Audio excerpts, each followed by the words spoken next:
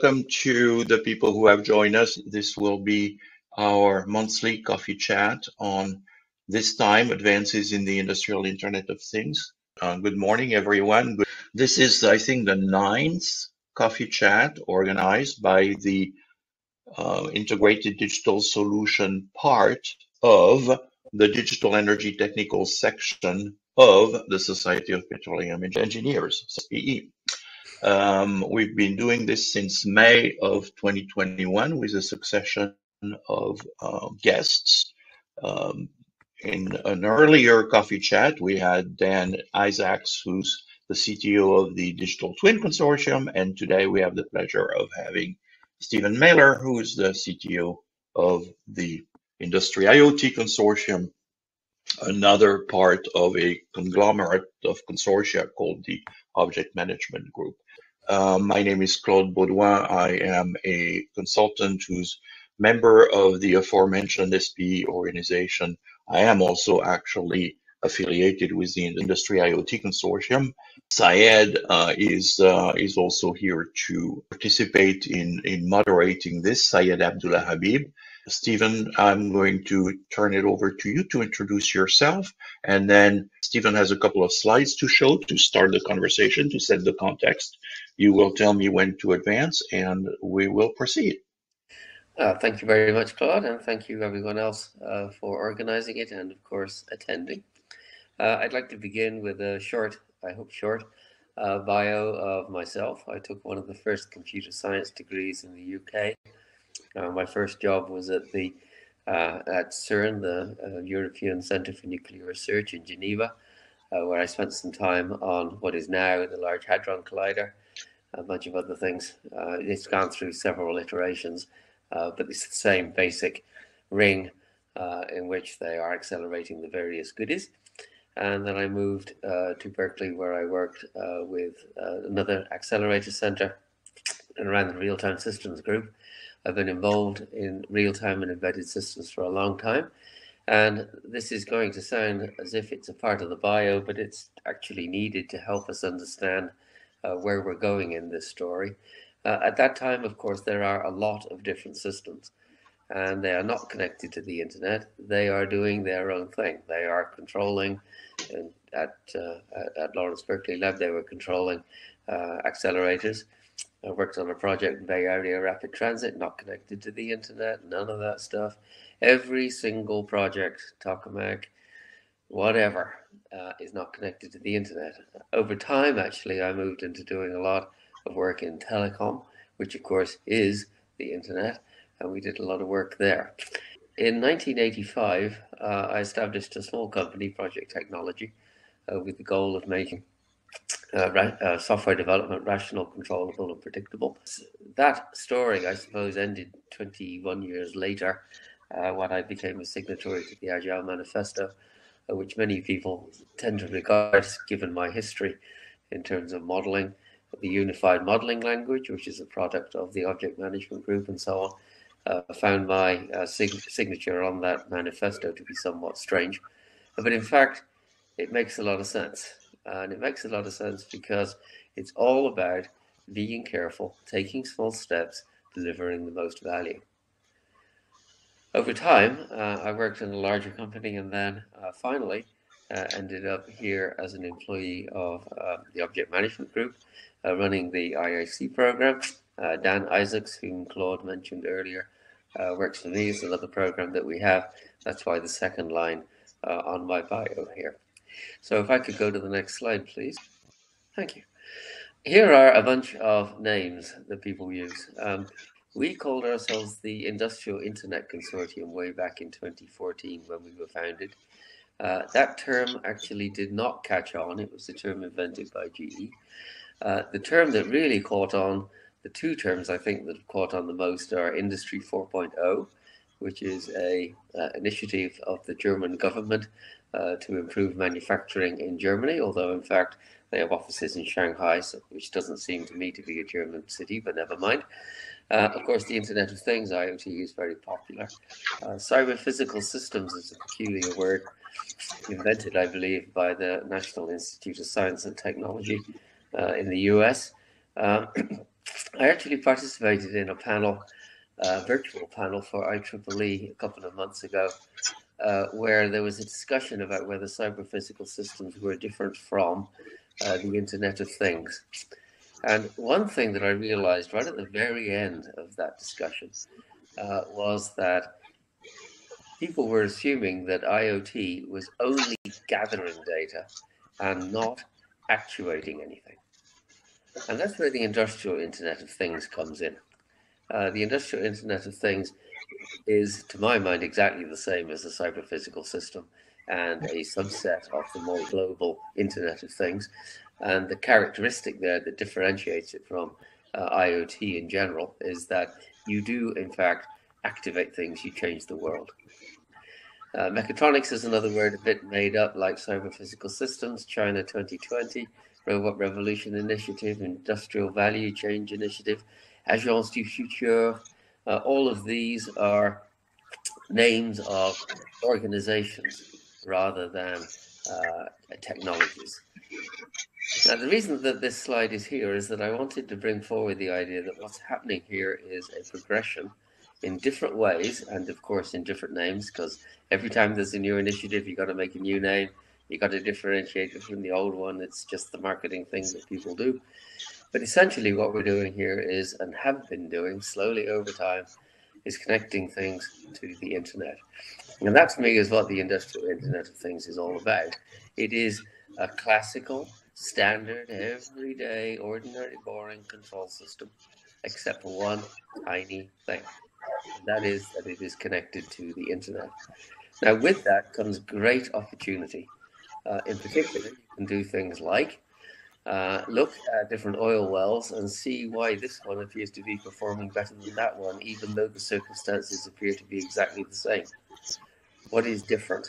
Well, you can measure your different instruments uh, across the different, uh, if you like, a fleet, is a common term in manufacturing or in automated vehicles, a fleet of oil wells, and determine why this one is working better than that. You can also do things like uh, predictive maintenance. Again, you can do that individually on a single site, which is air gaps not connected to the rest of the world.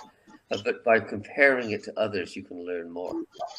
Over time, you can also, of course, get to the point that you can have new business models.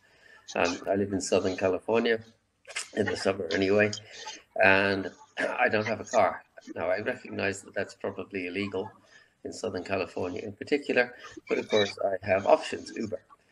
Uh, so what this takes you to is the notion that connecting things to the internet can bring you great value. GE, one of the initiators of IIC back in 2012, two years before we were performed, uh, estimated that the effect, whatever exactly that means, of the industrial internet would cover about 40% of the global economy and be huge numbers of trillions. Of course, what we mean by effect, who the heck knows? Now, before I go on, there's one other thing we need to look at, and that is risk. Uh, when you connect things to the industrial internet, when you connect things to the internet, I should say, uh, you also enable access uh, by others. Uh, typically, this is the uh, pimply teenager in his mother's basement, uh, is the image that we all get and of course there are state actors, just to be more serious about it, who can affect your work, can affect your system. They can control it, and that brings with it huge risk. And here I'll, I'll borrow um, uh, a line that uh, Claude told me, which I thought was very, uh, very pithy and really captured the idea. If I told you that I could improve your um, uh, efficiency, your productivity of your oil well by 5%, but there was a 0.05% of it going down for a month. What do you think that people would do? Would the uh, managers of that uh, plant say, yeah, it's a good idea? Or would they say, no, thanks, I'm not doing anything? This slide is quite rich, uh, and I'm not going to go through every single one of these boxes. That's silly. What I want to do is to try to get to the point that we have an understanding of what IIC is doing. Uh, back in 2014, when we were formed, we published several frameworks. Uh, the first one was a reference architecture, which is not specific to given verticals, but a generalized article, uh, generalized architecture. Uh, we worked to build a mapping to the architecture that the manufacturing folk at Industry 4.0 created. Uh, and then we published a security framework. We published a lot. I'm not going to go through everything. Um, believe me, you don't want to hear. It's roughly 2,000 pages, I'd say. Uh, but paper is all very well, but what people really care about is deployments. And so what we're trying to do now is to establish relationships with different organizations. SPE uh, can and should be one. They are, in fact, a liaison of ours to determine the issues that you have and then to apply what we call digital transformation enablers to your particular industry. So if you look on the right hand side, top right, it says enablers. Underneath it says machine learning. And in fact, I've expanded that on the on the main uh, main plane of the of the slide. That machine learning is something that can be applied in all sorts of areas, uh, healthcare, energy, automotive, and of course in oil and gas. So, can we understand what machine learning can do for you, and then work to establish how it is that it works specifically in your area? And then you can look at others of these OTA, over the air updates, uh, augmented reality and virtual reality. Uh, OMG now houses a program called Augmented Reality for Enterprise Association. And then we have uh, expanded the notion of security from the first idea, which was actually quite robust. Uh, but we have now extended it to talk about principles for how you can build your system so that it is trustworthy and reconcile the different aspects of trustworthiness, which include security, which itself includes cybersecurity and physical security, privacy, reliability, resilience, and safety. And here is one of the big issues. Uh, if you, let's say, I am a software engineer, if I go into uh, your plant and say, hey, I, I really need to get this done, we need some more security, the person running the oil well is going to look around and go, Well, I have armed guards, I have barbed wire. What on earth are you talking about? I, of course, am talking about cybersecurity. So there is a conflict there uh, between the use of the language and how people uh, think of it. So IIC is working to um, identify and describe these enablers and then deploy them. So stepping up a level, what we have done is we've gone from our initial view, which is kind of laying out the framework, how does all this work, into thinking specifically about deployments in specific verticals. And we are, of course, interested in particular in the oil and gas vertical.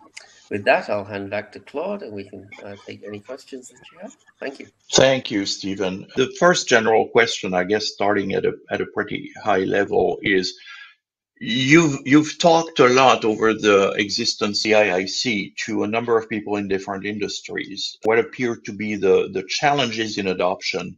How do people decide to embark in this direction? What, do they realize the benefits, or do you first have to convince people of the benefits? Can you talk about that?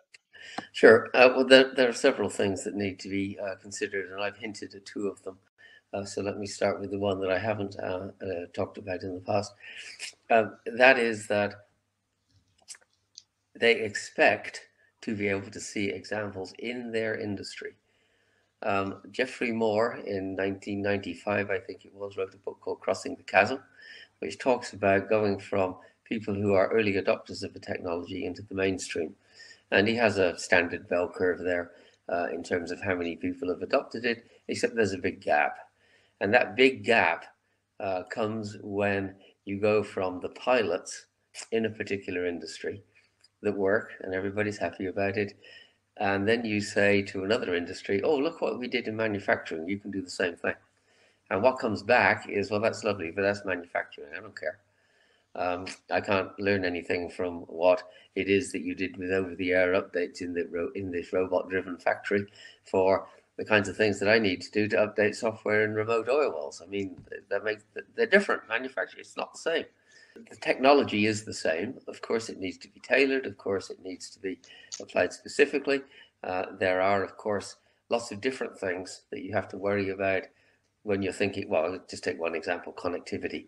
Uh, connectivity in a remote oil well in the North Sea, let's say, is quite a different matter from thinking about connectivity in a factory at the outskirts of a large city. I mean, they're just different.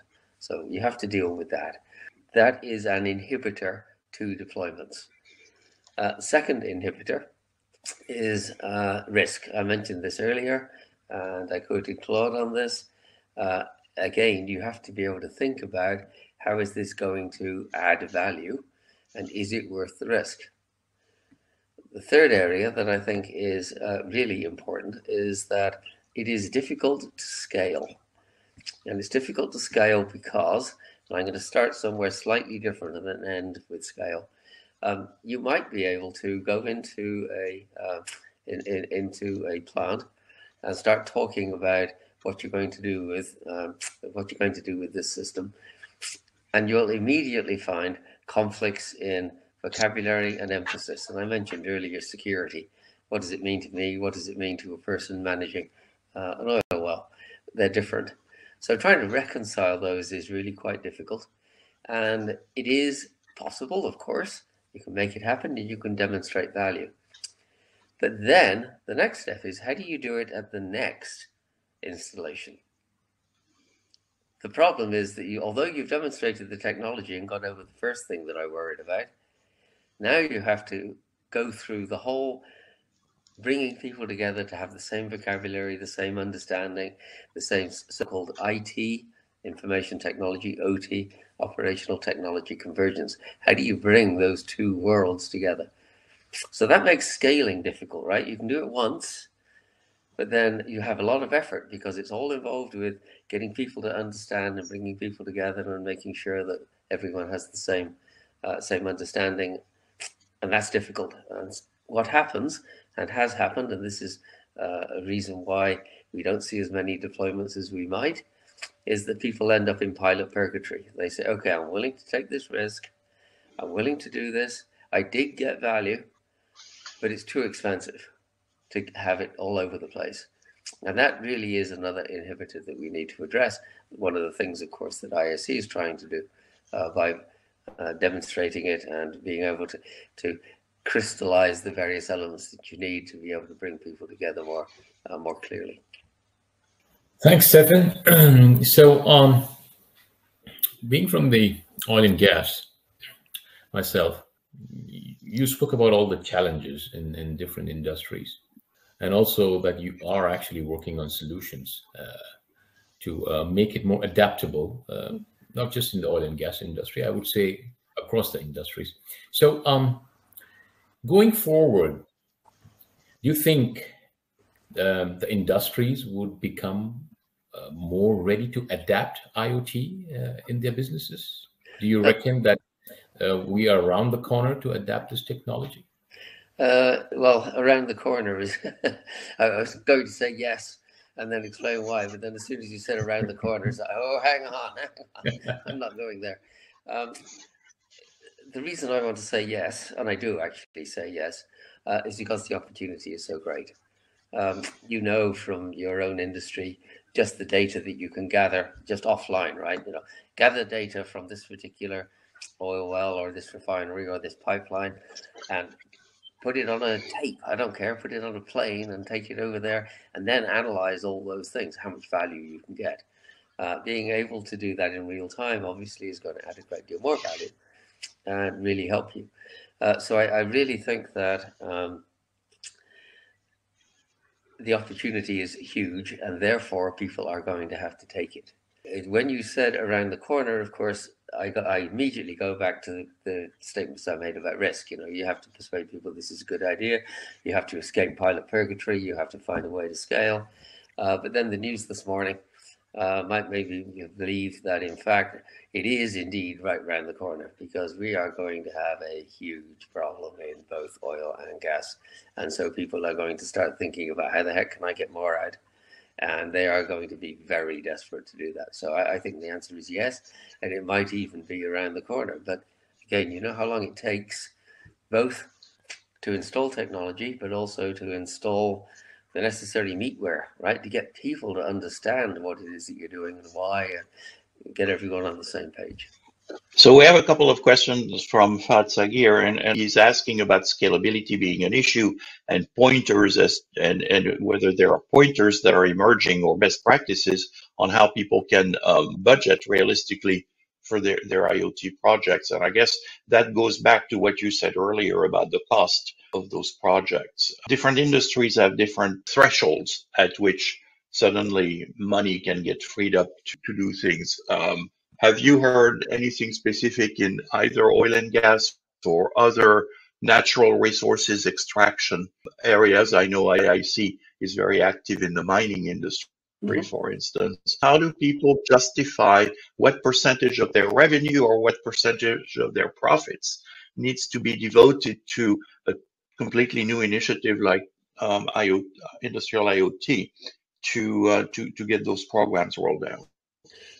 You have to be able to demonstrate it, and you have to be able to demonstrate it beginning at small scale.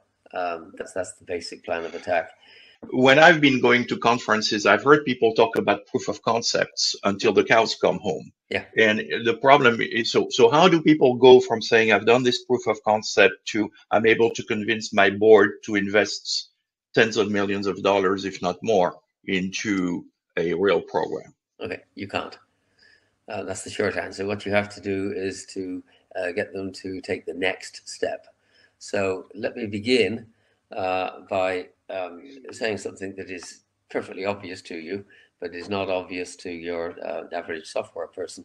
Um, large companies, you know, British Petroleum, for example, uh, Rosneft, Gazprom, uh, they make large bets over decades. That's in the that's in the culture in the boardroom, right? So that's your tens of millions of dollars. But you can't do that off the bat. What you have to be able to do is to go from a pilot to scale that same pilot to another place so that you deal with the human issues and then go take the next small project and make that happen preferably with uh, the same uh, people because you don't have you don't want to go through uh, sorting out uh, their expectations and needs at the same time. So what you want is a plan over the next few years that contains several relatively small projects, each of which uh, adds value, each of which can be scaled, which involves taking it to another installation and working with the people there, which is very costly, but you, it can be done. And then to evaluate what worked and what didn't, what added the most value and what did not, and then take the small projects that you have identified that you think can help reprioritize, and do it all over again. So it's not a step from proof of concept to tens of millions of dollars.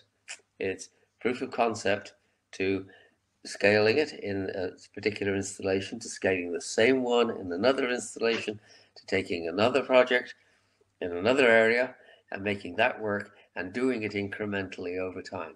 Because this is going to sound a little bit weird, uh, but we don't know what we're doing, right? When I mm-hmm. say machine learning, for example, that's quite different today from what it was even five years ago.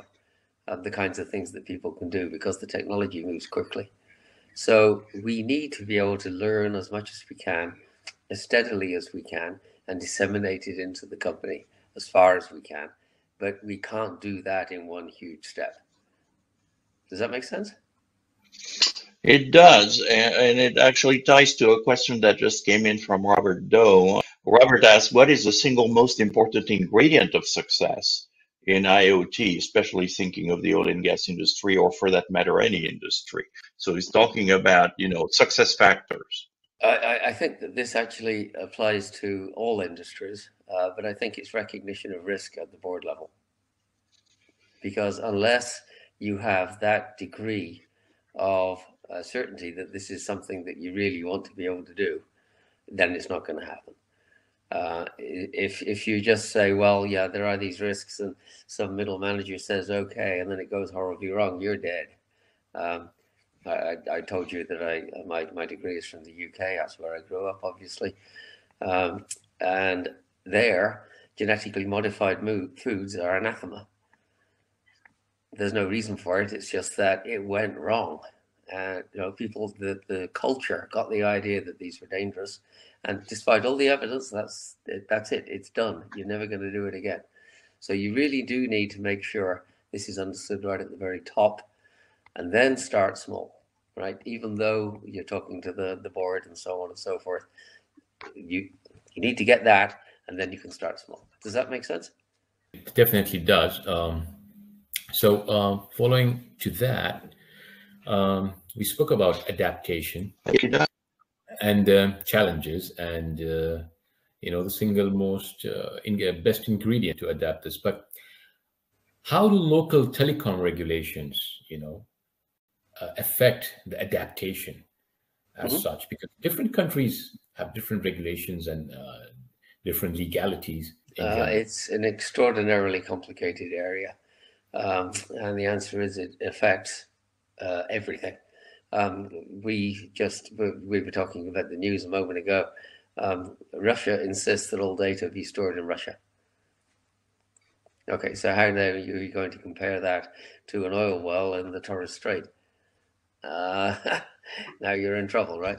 Uh, so basically, the questions of data sovereignty, jurisdiction, where you store it, how you transmit it, who owns it, all of these things are just a great big ball of complications. It is extraordinarily difficult. Uh, the only way to deal with it is case by case, as far as I can see so far. I know there has been some work um, in trying to uh, think more clearly about data sovereignty. I believe actually that Object Management Group has done something. You might know something more about that, Claude.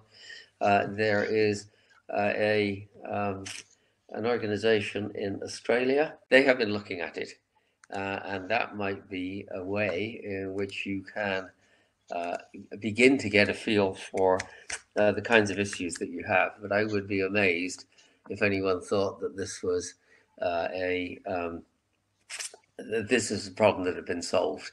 I found the name of the association. It's IoT Australia Association. It's based uh, in Sydney at the University of Technology, Sydney. Uh, from the political slash jurisdictional standpoint, you're absolutely right. I think that, that data sovereignty and data residency is an issue. You you correctly quoted Russia, but there's many other countries. Uh, I know Malaysia in particular, where uh, you cannot export the data.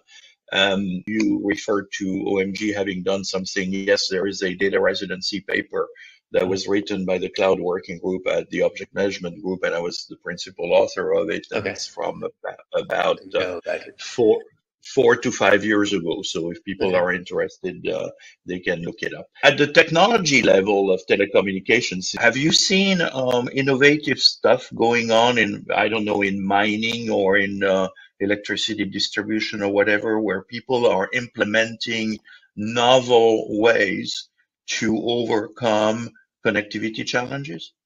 Uh, yes. Um, more generally, this is um, referred to as edge computing or distributed computing. Um, back in the day, people used to think about here's my plant, it's over here, I've got data. And then I send it to the data center, although they usually say I send it to the cloud, right? And the um, the expectation, the assumption uh, is that that data center is something you know run by Amazon, let's say, or any other providers are available, um, and it is remote from you. Uh, over time, people realized, of course, that that exposed their data more than they wanted, and so they started building their own um, data centers uh, using the various technologies that we associate with the cloud, such as virtualization, uh, being able to um, uh, move uh, computing from one data from one place to another, uh, and that was sometimes housed on premise, and it was sometimes uh, not, but it was private, and that that that makes perfect sense. But the trouble is that that distinction between here are the sensors and the actuators, and here's the data center, doesn't allow for questions like bandwidth, latency, so on and so forth. So what you might instead want to do is to have some computers, let's say a very local quote data center, which is very actually quite small, uh, but does a lot of computing work to manage in particular this particular part of this installation. Uh, one area you mentioned mining and energy. uh, Claude, but one area where this is quite large is in smart cities, for example. I might have a small uh, server that manages uh, this small, not block, but few blocks, let's say. And then that data needs to be uh, fused with the data that comes from the next block and the next block. So rather than the devices, sensors and actuators, and the data center here, what you want is layers of this. And in that way, what you can do is you can reduce the latency, you can reduce the amount of data that needs to be transmitted, which of course helps you with the bandwidth. And you are also more resilient because if you lose the connection to the big daddy data center up the top, you still need to be able to carry on. An example here, for uh, which is I, I, think quite a common one, so I'll use it, um, is in machine learning, where you wish to train the model first, and you tend to do that almost all in the data center um, with not necessarily real-time data. And then you want actually to deploy uh, the model that has been uh, created locally. And you don't want to take all of that to the data center. You want it to be local. And in general, there can be multiple layers. Uh, one of the things that we're working on at the moment actually is to try to define some patterns for that. Um, when would you want to have something that's very deep with lots of layers when would you like to have something which is quite broad with fewer layers? When and why, and so on and so forth. So it seems that edge computing actually has a huge uh, impact on the feasibility of, of some of these things. That it's it's really part of the solution in many cases. Uh, someone put in the chat that that can help solve data residency if you can do a lot of the processing of the data locally. Um, then you obviate the um, the prohibitions against moving the data.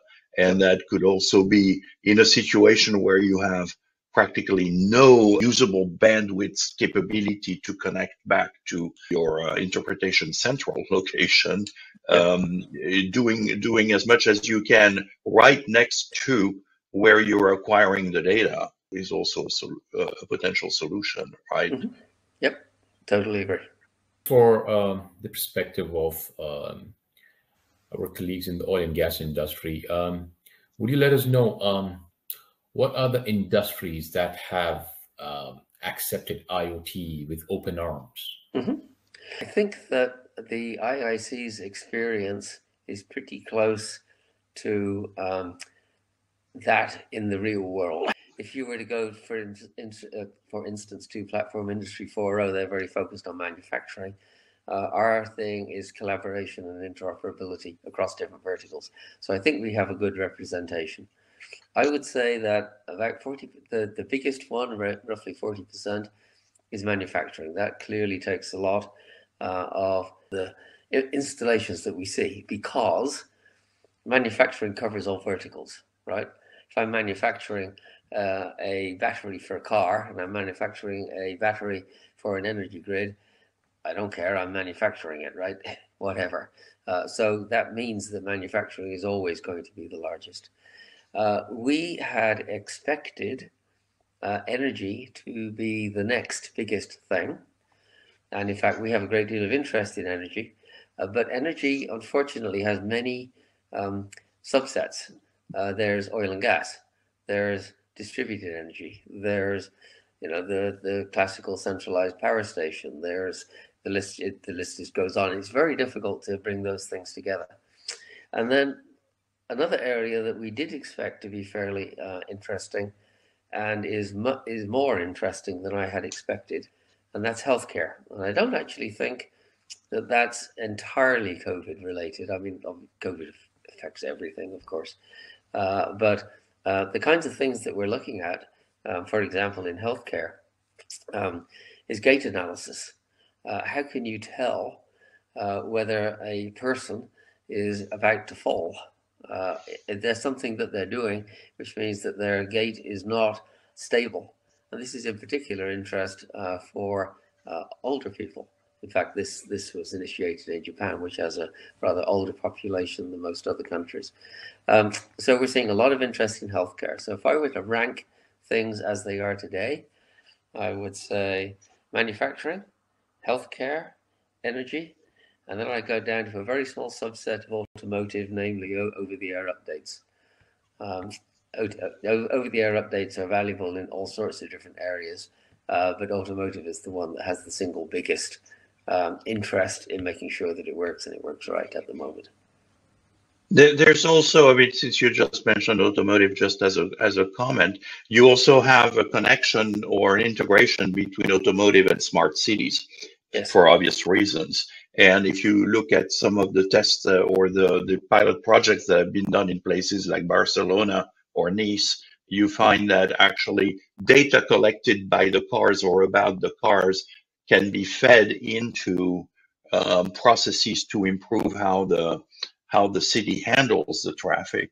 So mm-hmm. that's to me that's a, a, very intriguing stuff. Very distant from oil and gas in many ways, but um, you know there's analogies between between things. For example, yes. in oil and gas, one of the things that people are worried about is asset management, and mm-hmm. sometimes mm-hmm. that means where's my truck and what what what are the tools that are loaded on that truck and how mm-hmm. far is it from the oil rig or where is the boat and um, there's been even talk about um, monitoring the location of the people, um, you know, asking them to put on their smartphone something that will help track where they are if there is cell phone reception, in particular for safety for safety yeah, issues. I, I, I, totally agree, and I, this again is one of those huge subjects. So let me see if I can just take off a few things. Uh, first off, yes, Barcelona and Nice uh, have been doing uh, quite a lot of work in that area. If you have any contacts there, I'd love a trip to either or both cities. Thank you. uh, in terms of tracking, um, the uh, news this morning uh, talked about Google Maps showing traffic jams on the border of Ukraine, and now traffic jams exiting from Kiev. That's interesting. Uh, take take another example. Um, uh, as again, I told you I live in Southern California. There's an enormous number of Teslas around here. It's ridiculous. Uh, and at the same time, what we're talking about in energy distribution is how can we deal with the fluctuations in solar and in wind? Well, one answer is that we've got a whole lot of assets that are running around the, the city that have huge batteries right? Now, that when they're not running around, what do you want to do? You want to fill up those batteries and use up that power. And so that kind of distributed energy versus automotive versus they are all incredibly connected. One interesting question here from the audience is um, about uh, data sovereignty. So uh, we already spoke about that. But um, in the oil and gas industry, even the machine learning models that are developed, are also considered sovereign by the oil and gas companies. Mm-hmm. So, um, do you see similar phenomena in the other industries? Uh, yes, I do, uh, and it's an issue. Um, one of the things that we are doing or plan to do, this is not uh, it's done yet, uh, but I do have a call actually later today on uh, open collaboration platform uh, that we can use across industries. So think open source, but then also think open data, uh, because the kind of data that we want to use to train these models is also very big. And the kinds of arguments that you can make for open source apply exactly in this area, right? You can gain more by sharing this data and using the data that other people have, and everybody can move ahead more rapidly. Now, of course, there's all sorts of questions about how you set those things up. There's questions about uh, who owns what when. Um, that's what my call is about today because uh, I, I, want to talk to an expert in this area so that we can set it up properly. Uh, but sharing data is something that does add value. Of course, each company has to decide whether it adds value to them, and if not, well, they'll keep it private. I want to talk about security a little bit because uh, it's it's a hugely important thing. Obviously, it is sometimes a reason why people are, are it's at least a pretext sometimes to do nothing. You mentioned earlier uh, in your introduction that key differentiating factor between older industrial industrial IoT is the connectivity to the internet. I heard a lot of people, at least a few years ago, say, "Is an IoT just a fancy term for SCADA?" You, you partially answered that, but can you comment more on the host of issues that connecting to the internet creates for those systems and how have people been handling this, uh, not just at the technology level, but also at the uh, you know the governance level, things like IT/OT convergence and things like that. Okay, uh, another broad question there. The way to think about it, first of all, is that the word security actually is quite a dangerous word. Um, there, there, are multiple reasons why. Um, in English, to me, that has several meanings. Right away, you can say, do I mean physical security? Do I mean, quote, cybersecurity, a word I loathe uh, because it just sounds so clever and it's not actually that that big a deal. I mean, you got to get it right, obviously, but it's it's not special, right? It's something that needs to be secure. Uh, in German, uh, the word for security actually also means safety, Sicherheit. Uh, so that word means security and privacy. So in English, we have many meanings. In German, it covers several areas. It's a complete nightmare. Um, so uh, we have been working with the concept that we call, and I've mentioned this before, uh, trustworthiness. And uh, we have developed a trustworthiness foundation that was published maybe two, three months ago.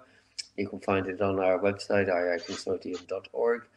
Uh, and then when you take a look at that, what you'll see is a set of a dozen or so principles that you can use to help you reconcile the different parts that make up trustworthiness.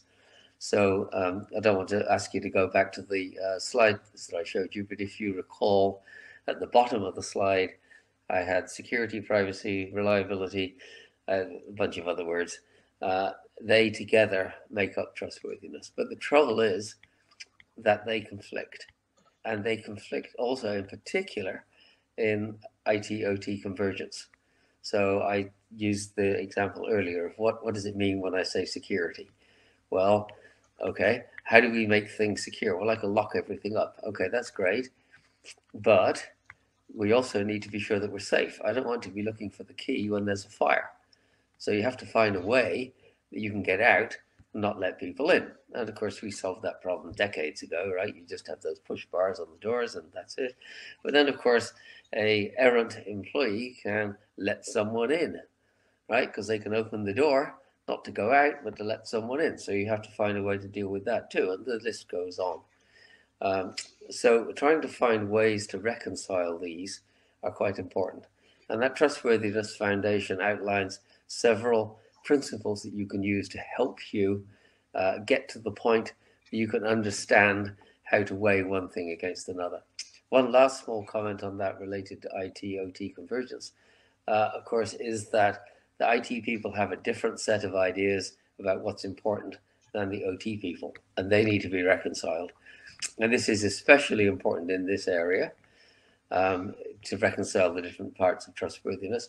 It's also important um, to understand it in reference to um, uh, updates of software. Uh, I have my phone here. I mean, everyone has their phone everywhere, right? It could easily have updated itself three times in the time that we've been talking. You don't do that in an industrial application. You have compliance, you have safety checks, you have all sorts of regulations that you need to follow, and so on and so forth. So that needs to be addressed as well. Before we end the session, um, I'm sure you have answered this in multiple questions, but there are many companies who are keen to adapt IIoT technologies.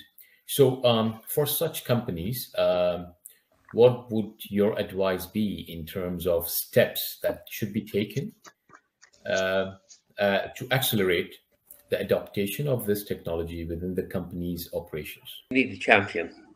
Uh, that, that's the first thing.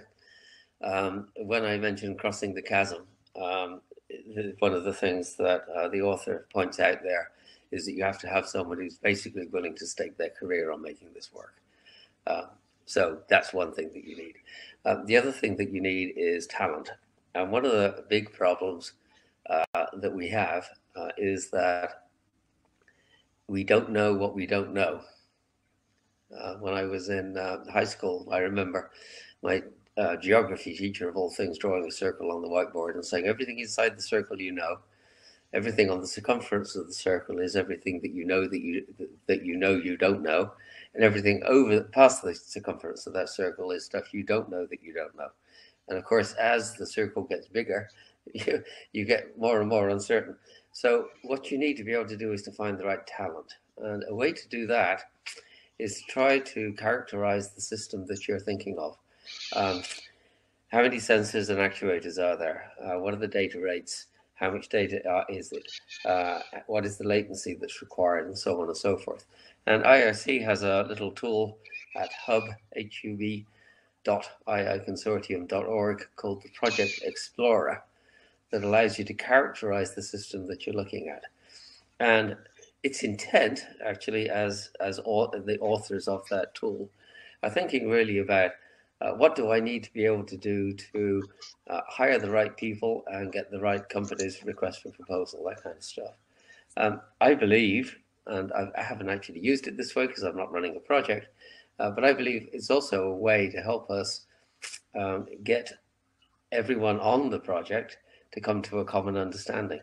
So if I were to ask Claude, you know, how many sensors are there, and he says, oh, five per installation, and I have uh, 10 installations, and I ask, uh, you said uh, how many uh, there are, and you say 20, and we only have five installations. Well, clearly we have a problem, right? So reconcile everyone's understanding helps us go together, which is a big issue that I've mentioned several times before.